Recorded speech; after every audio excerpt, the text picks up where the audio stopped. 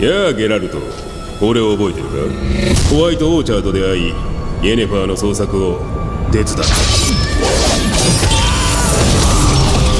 また助けが必要らしい。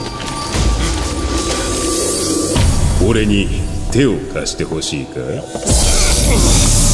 よし。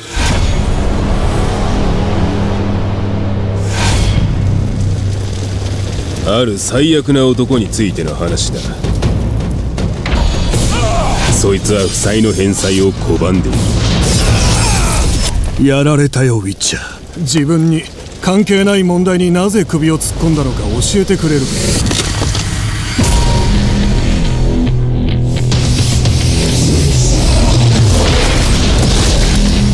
お前は不死なのか？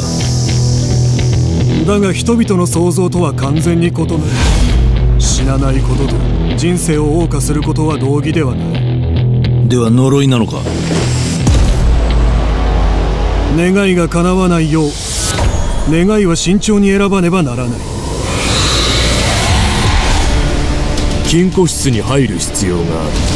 侵入し必要なものを手に入れる頼りにしてるぞ。なぜ彼女に会いた？い俺は彼女の心をつかみ台無しにするなよ